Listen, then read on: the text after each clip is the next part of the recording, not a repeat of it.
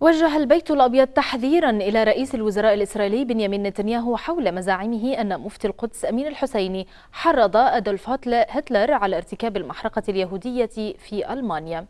المتحدث باسم البيت الأبيض إريك شولتز أكد على أهمية منع الخطاب والاتهامات والأفعال الاستفزازية من الجانبين الفلسطيني والإسرائيلي والتي من الممكن أن تغذي العنف مبينا أن البيت الأبيض ليس لديه شك حول مسؤولية المحرقة التي أودت بحياة ستة ملايين يهودي وقام بها النازي هتلر.